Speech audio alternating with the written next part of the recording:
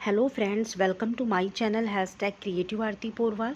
दोस्तों, सभी NEET students के लिए एमबीबीएस बीडीएस में एडमिशन लेने के लिए एक बहुत बड़ी खुशखबरी निकाली है सरकार ने। एक बहुत बड़ा ऑफिशियल अपडेट रिलीज़ किया है फ़ीस को लेकर काउंसलिंग को लेकर। दोस्तों, आपको बता दूँ, अब आप कम फ़ीस में भी एम बी कोर्स कर पाएँगे।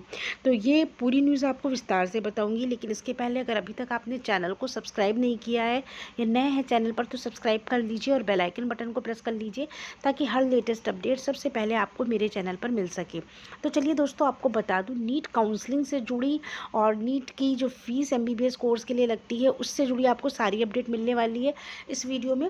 आप देख सकते हैं सचिव स्वास्थ्य डॉक्टर पंकज कुमार पांडे ने इसी सत्र से सरकार के फैसले के अनुसार एमबीबीएस कोर्स की निर्धारित फ़ीस लेने का शासन आदेश जारी कर दिया है। यानी ये जो फ़ीस कम की गई थी, पहले बोला गया था कि अगले साल से लागू होगी, लेकिन अब सरकार ने बोल दिया है, इसी साल से कम फ़ीस में आप लोग एमबीबीएस कर पाएँगे। प्रदेश के राजकीय मेडिकल कॉलेजों में आपको बता दूँ 2021 से एमबीबीएस कोर्स की कम की गई फ़ीस लागू होगी और सरकार ने नॉन बॉन्डेड एमबीबीएस कोर्स की फ़ीस चार लाख से घटाकर पौने दो लाख रुपए प्रति वर्ष निर्धारित की है। तो ये बहुत कम है और ये दावा किया है कि पूरे इंडिया में ऐसी इतनी कम फ़ीस एम की नहीं हो सकती।